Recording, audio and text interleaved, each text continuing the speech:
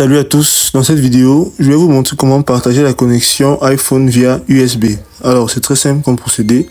Pour faire cela c'est simple, nous allons entrer dans nos réglages et par ici, nous allons activer nos données cellulaires afin d'activer la connexion. Et puis, nous allons entrer sur partage de connexion. Et là, pour activer le partage de connexion, c'est simple. Nous allons cliquer ici.